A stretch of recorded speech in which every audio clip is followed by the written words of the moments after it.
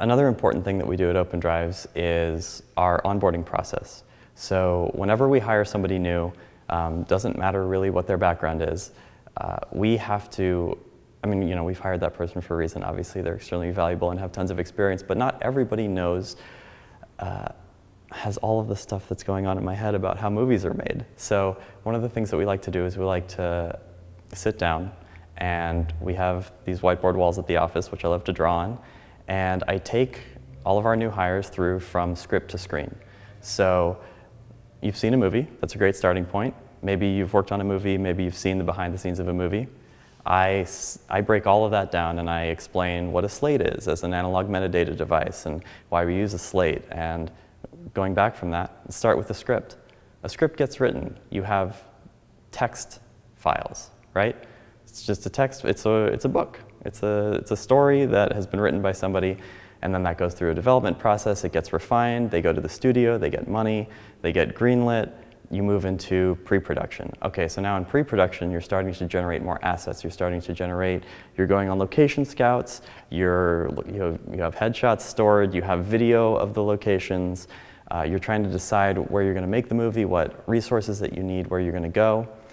And then you can also, if you're shooting complicated stunt sequences, you might be using some sort of pre-visualization. It might be storyboards, it might be animated 2D storyboards, which would be animatics, it might be fully, you know, rendered 3D, maybe not textured CGI that uh, demonstrates, you know, the car is going to flip exactly this way and land there in the scene. So now all of a sudden you're starting to get the first little bits of video that are coming in on the movie.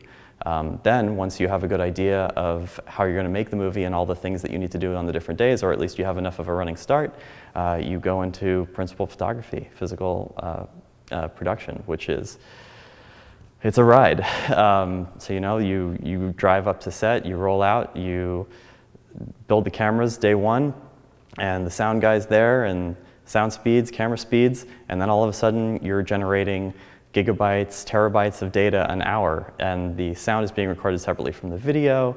Uh, you've got some color correction going on as metadata, you've got script notes, you've got all sorts of data uh, gets generated at that point, and you've spent a lot of money to get all the people together to generate that data, and you want to capture all of it. I mean, you don't want to leave anything behind.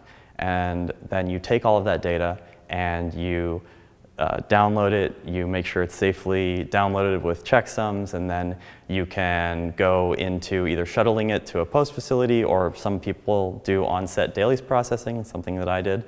Um, so you're syncing the sound, you're applying a basic grade, and then from there you are making sure you prune the metadata and hopefully uh, noting the circle takes and then baking that into editorial dailies. From there you're done converting to web dailies and then you put all of that on shuttle drives and you scatter it to the winds. So the web dailies go to the production office, they get uploaded, or maybe you have a post house doing that for you. Uh, the edit dailies, whether they were created on set or at a post house, they go to the editors so they can start ingesting. The AEs will bring that in to the edit program, and then they will start building out bins and sequences for the story editor, the lead editor, to do the final cut of you know the scene or rough cut, and then a, and then you know refined assemblies.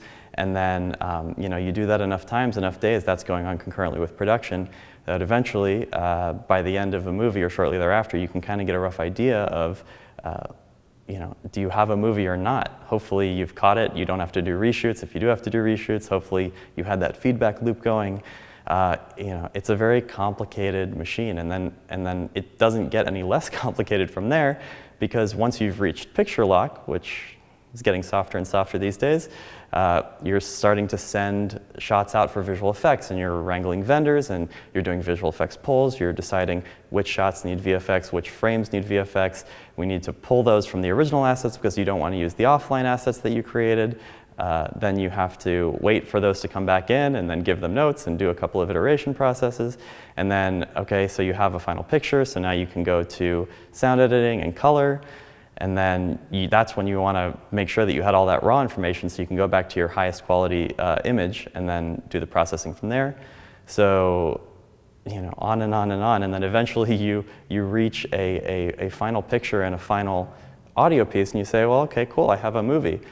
No, you don't, because then you have to show it in 360 countries and 720 languages, and then you have to make web versions and you have to make TV versions, which is a different color space than the theatrical versions, which is a different color space, and then the HDR version, and then the.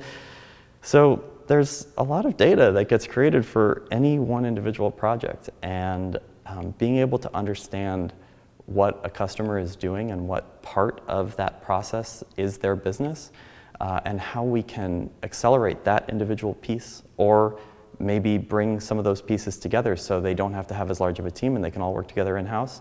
Uh, these are the things that we look at um, in terms of performance. You know, it's not, uh, it's not any one individual piece, and it's important to know how all of those work together to make sure that you're getting the most for your money.